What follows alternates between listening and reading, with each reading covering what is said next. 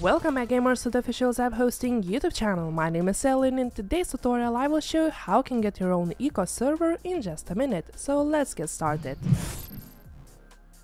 First, as always, visit our website zapmineshosting.com and log in into your Zap account. If you don't have an account yet, you can register here for free. Now navigate to the search bar and search for Eco. Click on it and then click on the green start button. Here you can configure a server to your liking. You can change your server location, slots, RAM, display, CPU and IPv4 is important if you want to protect your server from incoming DDoS attacks. Finally, select a payment method, but before you confirm your order, here is a little gift from us. 30% off voucher code which you can use by clicking here on use voucher and typing eco-30. After you confirm your order, the server will be up in just a minute.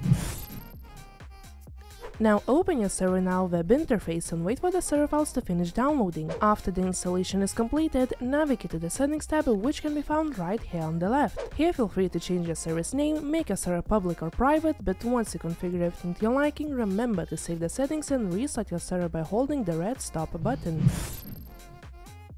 Once the server comes back online, copy your service IP address and launch Eco on your PC. In the game, click on your worlds. Now click on the plus button, then simply paste in your service IP address and click on join. And here you go, you have now successfully connected to your own Eco server. Enjoy! If you have any questions, you can contact our support by creating a ticket on our website or live chat and we will be more than happy to help you out. Now have a lovely rest of the week and enjoy playing on your Zap server.